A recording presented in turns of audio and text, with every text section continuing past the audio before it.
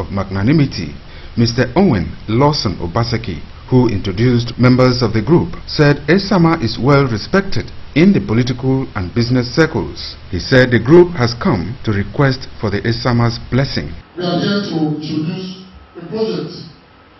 We are here to introduce a friend.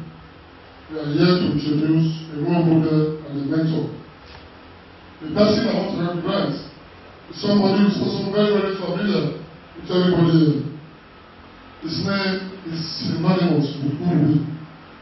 Recognize our brother and friend, our hero and mentor, Honorable E.J.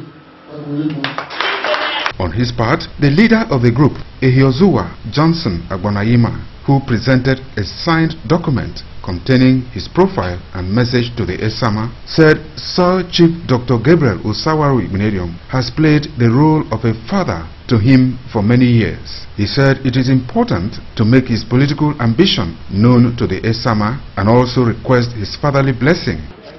My great father, Your Most Excellency, a man of refuge, a man that does not need introduction.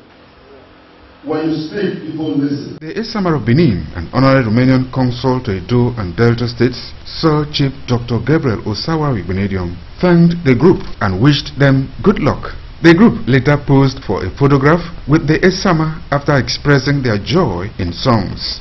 Pius Nsoko reporting.